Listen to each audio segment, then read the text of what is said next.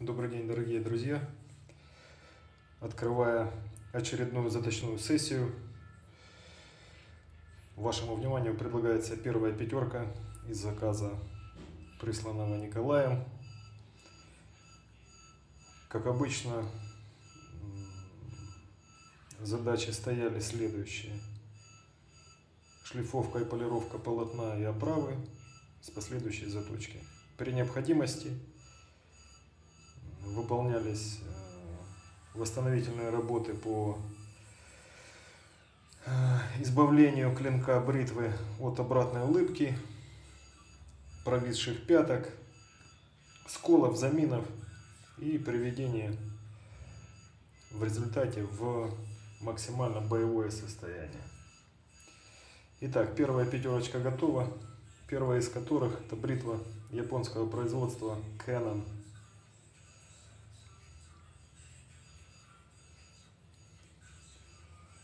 имеет указание марки на лицевой стороне, с обратной имеет указание for barber use first quality. Массивная бритва, несмотря на внешне скромный размер, это практически клин, здесь не больше четверти выборки. Очень увесистая штука. Я думаю, брить будет бескомпромиссно.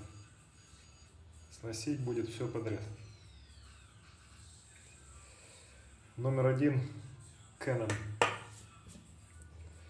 Далее приинтереснейшая вещица. Жи Новелла и Фигли. Мессина, Италия. Вот такая вот интересная бритва.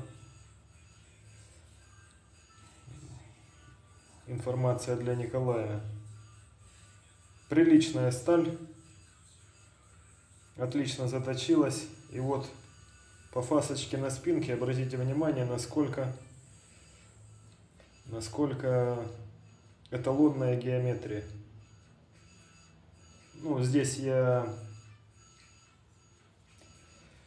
пришлось мне пяточку прибрать, потому что достаточно так она болталась непотребно. Ну,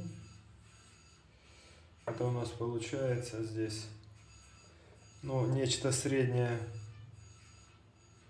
между четвертью и половиной выборкой. Но обратите внимание, насколько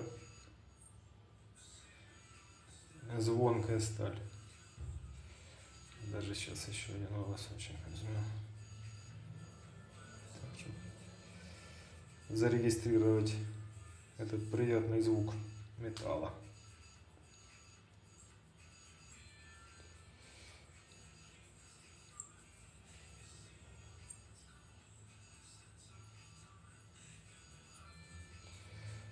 Итак, номер два.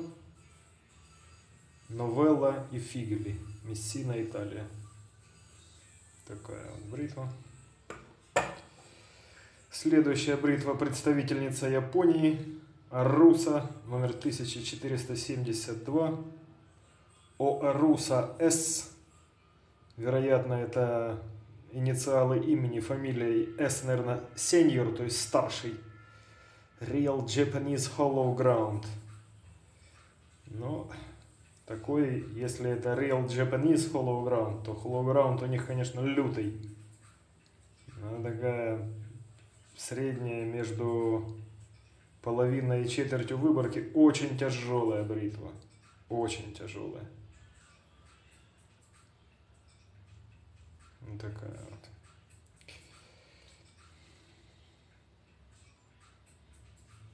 Если кому приходилось затачивать бритвы после японских ханмейстеров, думаю, ребята меня поддержат.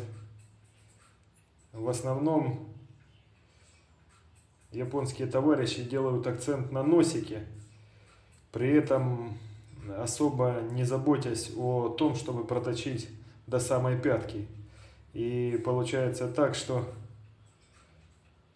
ну, оно даже здесь видно, хотя, конечно, я полотно выравнивал Поскольку, опять же таки, ну, стандартная ситуация, пятка была гораздо шире, чем носик. Но все равно даже здесь можно наблюдать у носика фасочка шире, как на обушке, так и, в общем-то, сама фаска. Так и у пятки то же самое. Вот такая. Так, проверили, не проверили. В днях потерялся.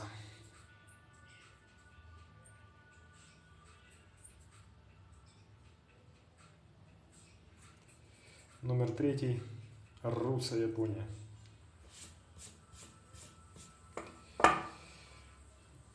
Очень мне понравился эстетически, по крайней мере так точно, вариант номер 4. Это также бритва японского производства, славно известный Cape.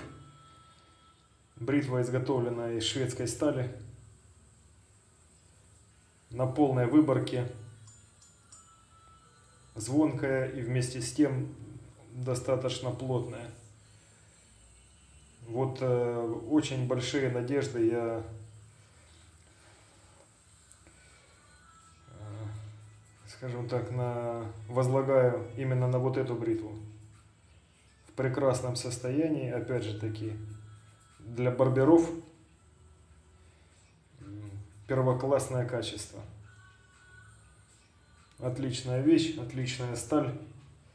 Искренне надеюсь, что в работе покажет себя с лучшей стороны.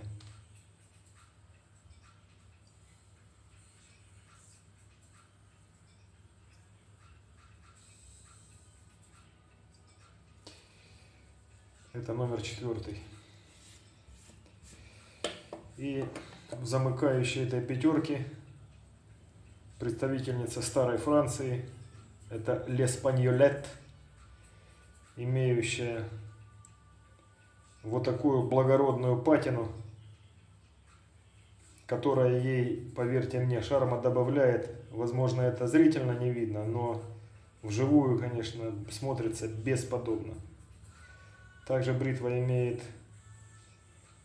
травление на полотне, гласящее, что данная модель предназначена для жесткой щетины и чувствительной кожи. На четверти выборки она. Переживал я, что вот эта патина, ну, по крайней мере, предварительно, когда осматривал, патина начнет выбрасывать коленца на тот момент, когда нужно будет уже формировать, формировать режущую кромку. К счастью, ничего подобного не произошло. Кромочка чистая, никаких очагов коррозии не имеет.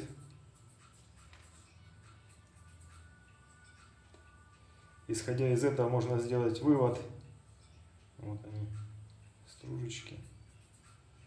Толюсь, тонюсенькие, малюсенькие. Можно сделать вывод о том, что будет еще служить и служить. Вот такая вот пятерочка.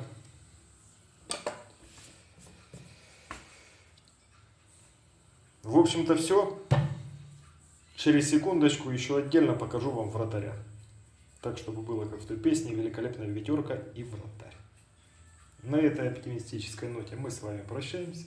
К счастью, ненадолго. И до скорых встреч в эфире. Пока.